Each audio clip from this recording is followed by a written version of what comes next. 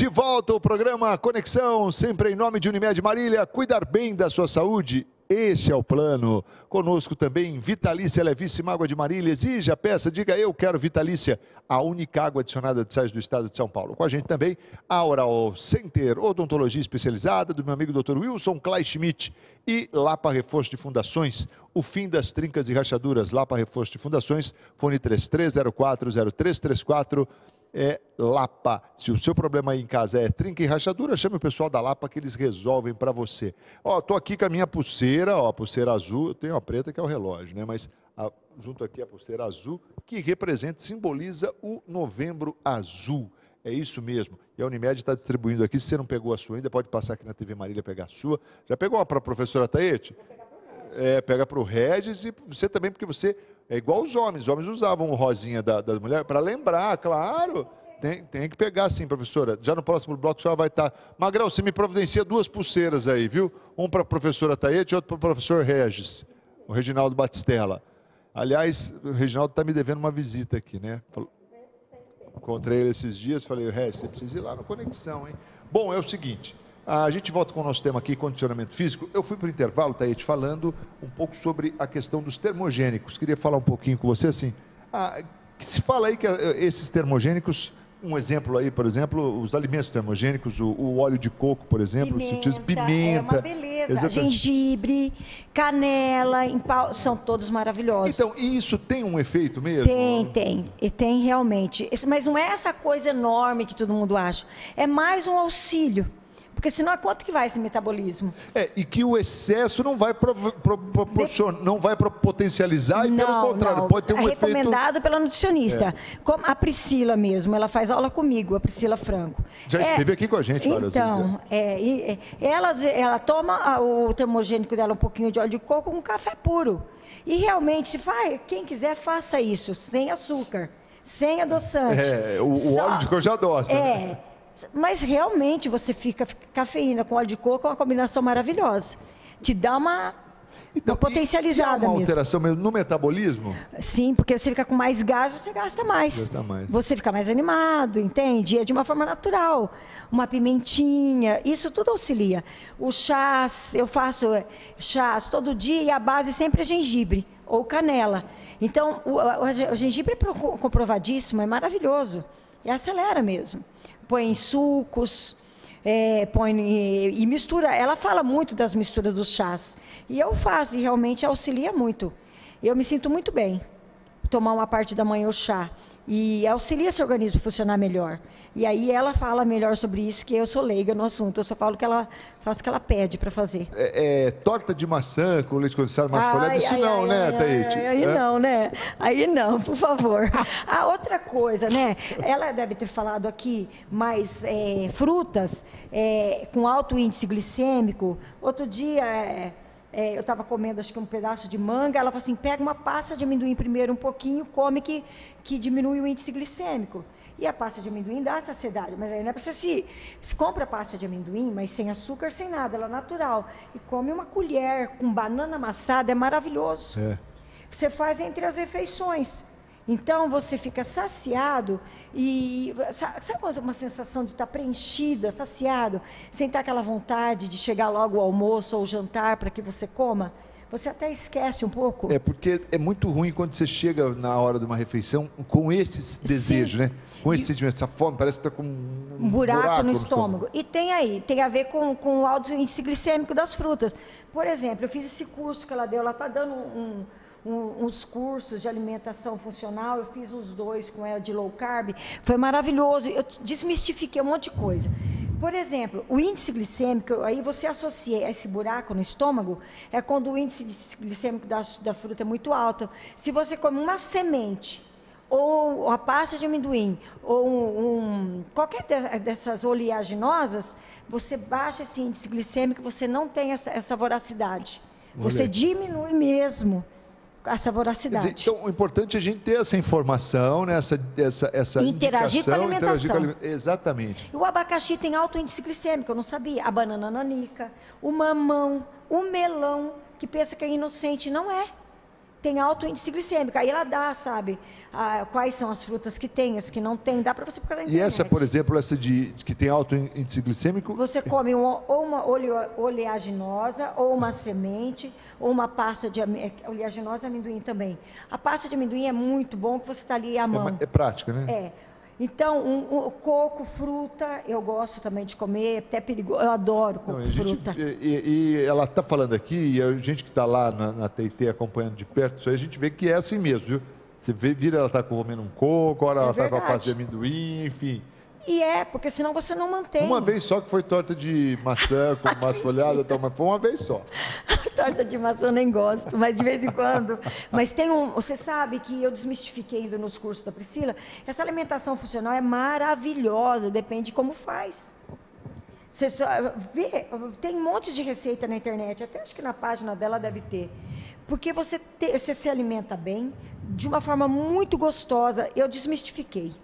Taete, e aí, ah, você tem já essa orientação na alimentação, da atividade física. Vamos falar agora da atividade física para o condicionamento físico? Só deixa eu completar pois um não, negócio claro, da alimentação, claro, que claro. isso é utilidade pública. Pois não. A Priscila falou que nos últimos estudos que você, adulto, tem que comer 500 gramas de, eh, esses 500 gramas seriam entre folhas, frutas e é, como que chama? Não é, não é verdura, Fibras? Não, não. É fi, não é só fibra é, legumes, legumes. Então, legumes. Então, 500 gramas de... Entre folhas, que não pesam nada, ah. frutas e legumes. Dia. Eu comi um pé de alface hoje, acho que deve pesar o quê? Uns 100 gramas. Não pesa. Não pesa. Não, nem pesa Será, nem né? isso. 100 gramas é Só se comer o talo, né? É, se comer o talo, vai. Mas veja bem, e criança 350 gramas, que isso faz uma diferença na saúde das pessoas. Com em, frutas, legumes e verduras. Entre isso. Entre isso. 500 di, gramas dia de dia. tudo isso. Então você fraciona isso. Que é uma alimentação low carb, que é baixo carboidrato, um carboidrato maravilhoso. Aí você põe uma proteína, põe uma, umas sementinhas, maravilhoso. Então, ela tem um jeito. São hábitos, né? Que, a gente que você querer... vai incorporando. Não precisa mudar tudo de uma é. vez. Vai aos poucos. Agora o povo começa com batata doce, só come batata doce. Não é assim. É. Come abobrinha, come um brócolis, come outras coisas, não é verdade? Sem dúvida. Cenoura, é, varia as cores. Vamos aos poucos esse é um ponto Esse é um ponto interessante, a questão das cores. Primeiro porque a gente sabe quando você está com prato colorido, você está com bem representado, né? Exatamente. Nutricionalmente é, falando. Exatamente. E um outro aspecto é o visual mesmo, que nós comemos pelos Nossa, olhos, né, Verdade, E você verdade. comer uma comida cinza, uma comida pasmacenta, assim, não, não é a mesma coisa. Claro que não. Você já não se alimenta da mesma e forma. E comer devagar, Marcos. Devagar, é verdade. Sabe por quê? Por causa da leptina. Para o hormônio dar é, a informação para ela chegar, pra, né? É, para dar, porque você já vai liberando leptina na medida que você vai comendo. Mas se você come muito rápido, demora. Então, mas aí que está o lance que a gente falou anteriormente, e isso é legal para que as pessoas estão acompanhando. A questão do quando você está com a sensação do buraco, você come mais rápido. Com certeza, mas é que tem que comer devagar. Por isso que, então, mas por isso que é bom você chegar nas horas da, das refeições, nos momentos de refeição, não com essa sensação, porque você fica mais. É claro que tudo é uma questão de educação, mas fica muito mais fácil você se educar, porque você não está com aquele desespero. Porque a impressão de quem está com o buraco no. Eu não sei se o meu buraco é maior que o seu. Mas na verdade, quando eu estou com essa sensação do buraco, eu chego para almoçar. Va meu, varado de fome. Você sabe? É mas aí que tá. Aí, se você não escolher bem hoje o tipo não, de alimento. Hoje eu sou fitness. Com certeza, olha, tá lindão, tá mesmo. Aí, é, uma coisa interessante. Começa a perceber o tipo de alimento que você escolhe, esses alimentos com qualidade, a sua energia é vital, o seu ânimo, a sua alegria, você é outra pessoa. É outra coisa. Porque quando você se empanturra de tudo que é, é amido, açúcar, tudo que vira açúcar, você tem, você fica letárgico, você fica lento, você fica sonolento, você não tem a mesma disposição durante a, a, o dia, você não tem. Você não, eu, você não produz a nível de, de intelectual igual, não, não é a mesma coisa. Começa a observar, começa a maneirar no jantar, se não consegue. Outra coisa que eu desmistifiquei, eu estou falando de mim, porque você tem hábitos, ser humano é feito de hábitos. Eu não dispensava o pãozinho de manhã integral, cheio de castanha, mas e daí? Era é, pão. Era pão. Eu resolvi mudar com a, o incentivo da Priscila. Hoje eu como omelete, que se ela fala para também não comer só isso, até frango desfiado, sabe, de manhã, com abacate, depois você come fruta, abacate sem açúcar, né? É, porque o abacate com suquinho e limão é muito então, bom, né? É, aí já, já mudou o abacate. Mas uma tapioca com franguinho, ou com atum, ou com omelete, ó, muda o dia. Você tem uma saciedade, é diferente. Eu estou sentindo. Eu estou mudando meus hábitos, que a menina está lá dentro, ela pega no meu pé, então, realmente, ela vê qualquer mudança. É, aliás, é, é, se tem ainda um, um, tabu, uns já desmistificaram, outros ainda são, com relação ao ovo, né? Ela fala, ó, às vezes eu como oito ovos no dia que eu amo ovo não pode ser todo dia isso, na minha opinião, por causa é, não é na minha opinião, é porque senão você pode ter alguma, alguma sensibilidade ao longo do tempo. Não que isso vai se dar imediatamente, mas para dar uma variadinha. Mas é muito difícil para mim ficar sem comer ovo todos os dias. Eu adoro. E ele é baixo, baixa caloria. Você come de várias formas. E aí você pode usar um pouquinho de olhinho de coco, um pouquinho de manteiga mesmo, para fazer o seu ovo mexido, o seu omelete, o que você quiser. Então, isso que eu ia dizer. Mas a forma do preparo também que é importante, né? Por exemplo, o ovo cozido é melhor. Sim, mas é. Sim, porque você usa um salzinho rosa e come ele, está é. tudo bem. Aí você. Mas, é, é ó, um azeitinho, ele azeitinho, azeitinho. Também pode. Azeitinho, salzinho. Aí o ovinho de codorna, que é o melhor, é, você é testosterona, tem muita testosterona. Para mulher também, né? Para a nossa libido, ganho de massa muscular e etc. Mas ovo de codorna. E cada quatro a cinco ovinhos de codorna corresponde a um ovo de galinha. E um ovo de galinha grande tem em média 70 a 105 calorias. Então, se você comer eu comi agora há pouco quatro ovos cozidos.